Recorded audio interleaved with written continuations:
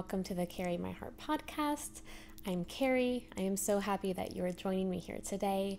This podcast is all about knitting and spinning and crocheting and just my love of fiber and crafting in general. And I am so thrilled that you're joining me. This is episode 10, which feels like a bit of a milestone for me.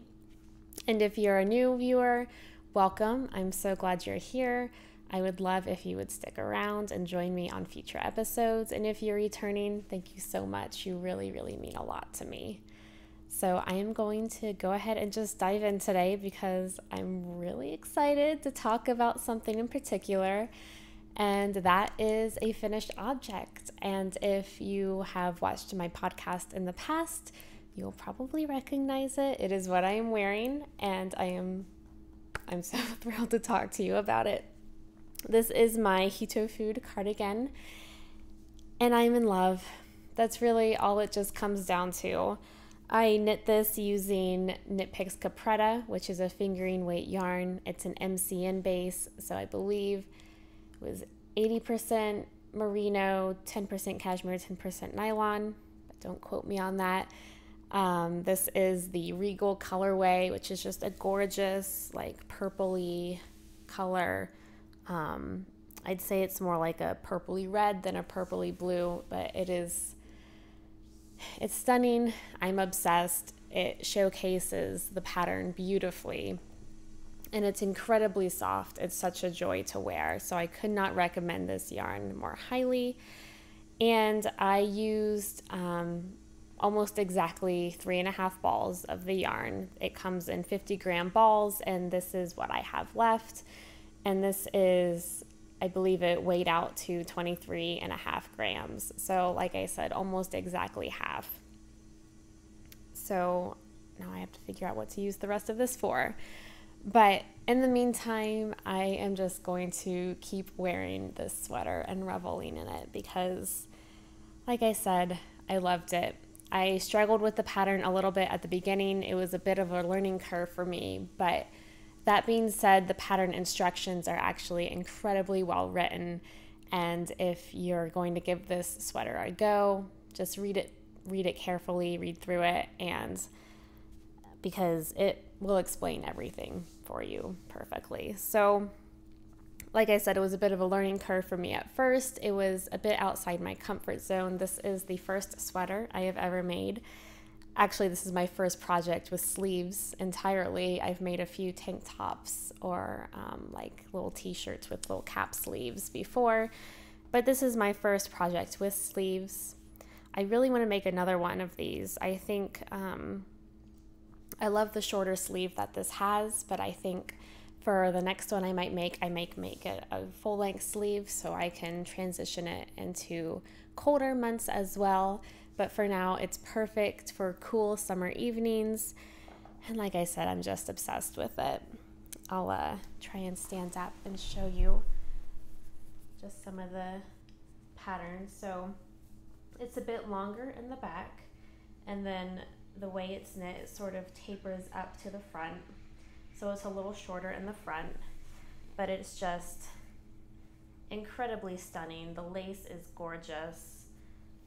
And like I said, I love it. So um, I modified the pattern slightly. I decided that I reached the point where I was done with the lace, and then all I had left was a couple rows of ribbing to finish it. I tried it on at that point. Obviously, it was not yet blocked, but I decided based on some suggestions on Ravelry from other people's projects who have made this sweater before to make it a little bit longer. Um, I did um, essentially three more repeats of the lace motif. And I am so glad I did because I think it's now the perfect length. When I first tried it on before I blocked it, um, but it was off my needles, I was a little worried. I was really hoping it was going to block out bigger, so I blocked it quite aggressively, and it is now just how I want it to be. So, completely in love, completely smitten. I want to make another.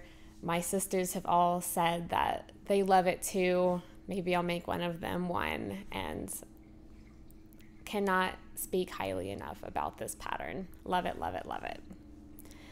So that is my only finished object because it is what I've worked on pretty religiously. Um, I was essentially a completely monogamous knitter on this um, project until um, I had it finished. And now I can explore some new projects as well. So, my work's in progress. I'll go ahead and show you an old one first. It was one that I had not worked on in several weeks, so you have not seen it in a while. But um, keeping it in my Japanese knot bag from Lavender Hill Knits on Etsy. But this is my Tiffany Triangle shawl, which is from the book Wendy Knits Lace by Wendy D. Johnson. And I didn't work on it a lot, a lot because I only finished the sweater a few days ago, but I did about six more rows. You can see my little progress keeper there. So, like I said, only about a centimeter's worth of work done on this, but it's coming along gorgeously. And I think my interest in it has been renewed a little bit ever since I started working on it again. And so I'm eager to get it done. I think um, it might be what I work on for the most part for the next few weeks until I get it done. So, because I just wanted off my needles, I cast this on at the end of February, and um, that's just that's too long in my opinion. If I let it languish much longer, I might lose interest entirely, and that would probably break my heart a little bit because I really do want a finished object. I do want this shawl to be complete. I want to use it and love it. Um, and I do enjoy knitting on it. It's the kind of thing where when I'm working on it, I love it to death. But getting myself to pick it up is a little bit of a struggle for some reason. It's as if I forget how much I love to knit on it. So I don't know just some sort of weird mental block with this project. Not that the pattern isn't fabulous, the pattern's great. It's um, become quite intuitive now, and I am really liking the yarn. This is Knit Picks um, Gloss Lace Weight Yarn, and this is the Port colorway. And I'm really enjoying it. So, this is the first lace weight yarn that I've actually ever worked with. And I think that might be part of the reason why it's taking me so long, um, just because there is so much detail. The lace is quite intricate, and there's not a whole lot of instant gratification when you work six rows and you only get a centimeter done. So, that being said, hopefully you will see it a little bit more on the episodes in the coming weeks. So, stay tuned for that. if I say it's going to happen, it has to happen, right? Is that how that works? I hope so. So, my next work in progress is something that I cast on immediately after I finished my sweater because I have been dying to cast on this yarn. This is this gorgeous yarn is Madeline Tosh, Tosh Merino Light, and this is the filtered light colorway and it is so gorgeous. It's primarily just like a white, sort of undyed base color, and then it has speckles of oranges and blues and bits of brown and is so gorgeous. Every once in a while, there's also a bit of purple and hot pink, and it's just so subtle and beautiful.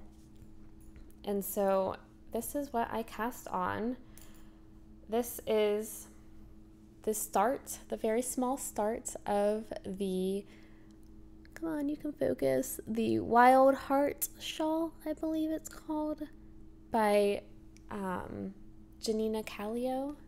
I believe that might be how you say her name, but I'm quite possibly wrong. Uh, she is the same designer who also designed the Antarctis shawl, which I have made two of before.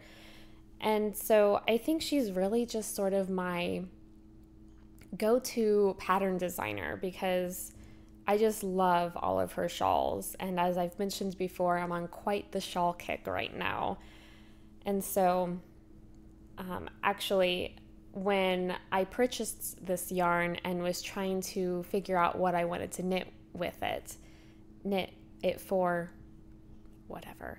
You know what I'm talking about. Um, when I decided what project I wanted to use the yarn for, there we go. I was actually going through all the different projects that people have on Ravelry that they have used to this yarn and actually this exact colorway for. And I saw that somebody else actually made this exact same pattern in this yarn and it was it's stunning and if my finished project can look anything like this other project on Ravelry, I will be so thrilled with it. And so I think just this yarn showcases it perfectly. The tiny bits of speckle really add interest. And as I've mentioned many times before, I love the color white. Um, I wear it a lot and I also love to knit with it. So, so thrilled with this. This was just like an hour or two's work. And so it's just going to fly off the needles, I think. That's the other thing that I really love about Janina's designs is that they look so intricate, but they're actually quite simple. So if you've never made a shawl before, I would highly recommend one of her patterns because it just it makes sense. It gets a little mindless after a while, which is nice. There's a lot of garter stitch usually, and it's just a lot of fun. So, actually, at the moment, she is having a sale on her patterns. I'm not entirely sure how long it runs. I know it is still going on though, and I believe it will be going on at least through the end of the month. But she is having a buy two, get one free on her patterns. And so I actually took advantage of that when I bought this um, this pattern for the Wild Heart just going to make sure it is called Wild Heart really quickly. Okay, Wild Heart. I'm getting that right. Did not want to get that wrong. totally lead you astray. But so I also picked up two of her other shawl patterns as well. One is also a triangular shawl like this one will be. And the other one is a shawl shape that I've never done before. It's going to be um, a crescent shawl. So I'm really looking forward to that because that'll just be a new um, technique, I guess, for my uh, stash of knitting techniques. So I'm loving this to death. It is awesome. Um, the yarn, the yarn is gorgeous. This is actually the first time I've worked with singles before, and I'm loving it. So, and I mean, people have told me several times that the only drawback of working with single ply yarn is that it can pill more easily. And so I think a shawl will be a great way to use the yarn where it won't have um, a lot of wear. So it's not like a sweater where, like, you know, your arms are rubbing all day and you start to get pilling. So I think a shawl is really perfect for this yarn. So that is so exciting. And that is pretty much all of the fiber goodness I have to show you. I've been pretty good about not casting on a lot of projects because it's the summer. I've been busy. Um, I haven't been getting as much knitting as I would like in. And so, because of that, just like with my Tiffany triangle shawl, I fear that if I cast on more projects, even though I have so many ideas churning in my head about what I want to cast on and what I want to start, I don't want projects languishing just because I can't get to them, and I don't want to fall out of love with the projects that um, I would be starting. So, that being said, that's really all the knitting I have to show you. Um, just a little rambling, I guess. The summer has been so wonderful so far. I can't believe that it's already the middle of July. Today is July 17th. Um, it's a Sunday, and just every single week flies by. I cannot believe it. Um, it's been two weeks since my last episode. Um, so since then, I um, took a trip up to Bad Axe, Michigan with David. We stayed um, with the family of a good friend of ours, and it was so much fun. It was 4th of July weekend, so we had fun just shooting off fireworks and cooking and taking in all the scenery and all the views and gorgeous, gorgeous part of the state. Really loved it. And um, this friend's family was so gracious to host us. So that was so much fun. Yesterday, we went to the beach um, here in Chicago. We um, laid out along Lake Michigan and just really had such a great time. We played beach volleyball. I did not. David did with some of our friends that we were with. I sat and read the entire time, got about 100 pages of the book that I'm reading finished. I am reading um, The Travelers by Chris Pavone, I believe. Great book. Not really my usual genre that I go for. It's kind of like a spy thriller, but it's engrossing. It's incredibly well written.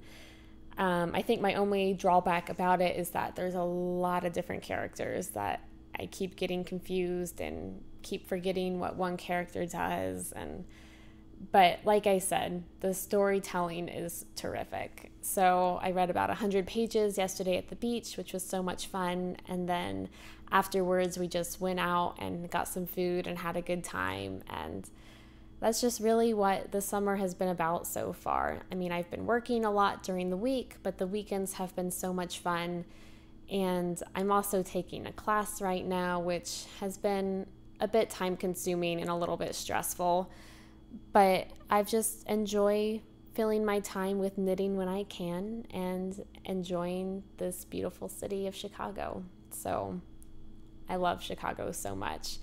So today, Today's a little cloudy. It rained early this morning, but the sun's come out and I think after this, I'm going to go just take a walk and enjoy the day. So, thank you so much for joining me. That's all I have for today. Not a lot because just been a busy, busy summer and because I've been trying to stay monogamous to the projects that I have going on right now. But thank you so much for joining me. Um, I'm going to include some um, footage that I filmed um, from the 4th of July and just from other things that David and I have been enjoying here in Chicago this summer. One of them is actually um, so we went to a free concert in Millennium Park at the Jay Pritzker Pavilion. And um, on Wednesdays, Fridays, and Saturdays, they have the symphony play. And so the orchestra was playing. We get there. We knew that they were going to be playing the soundtrack to a silent film. But when we got there, we were pleasantly surprised because it turns out at simultaneously they were showing the film. So I got to see my first silent film and have the orchestra play along to it simultaneously, which was really, really fun. So I also have some footage of that as well. So thank you so much for joining me today, and I will see you next time. Bye.